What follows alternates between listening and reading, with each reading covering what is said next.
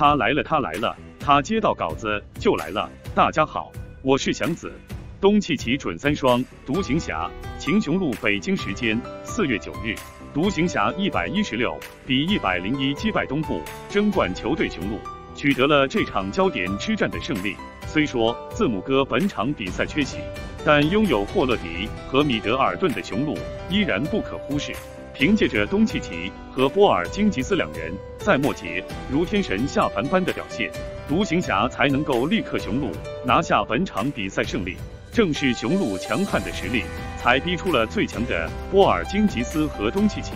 本场比赛，波尔津吉斯出场三十三分钟，砍下二十六分、十七篮板。全场二十投十中，三分线外七中四，两分投篮命中率达到百分之五十，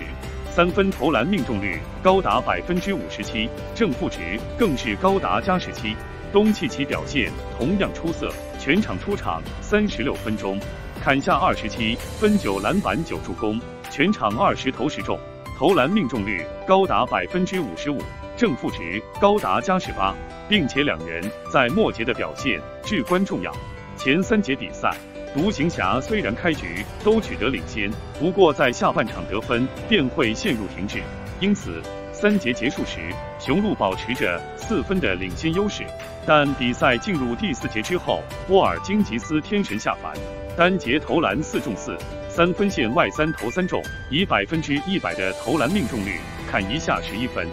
他的表现绝对是雄鹿在第四节能够反败为胜的最大原因。值得一提的是，沃尔金吉斯虽然在上场比赛中迎来复出，但他手腕依旧存在伤病，说是带伤出战一点也不为过。即使是在这样的条件下，沃尔金吉斯这两场比赛发挥非常出色，分别砍下二十三分、十二篮板以及二十六分、十七篮板，并且投篮命中率以及三分命中率均超过百分之五十，两战狂轰四十九分、二十九篮板。毫无疑问，健康的波尔津吉斯绝对是联盟顶级的内线水准，甚至有望成为诺维斯基的接班人。本赛季至今，场均能够送出二十加九的数据，一点五八亿的大合同似乎也是物有所值。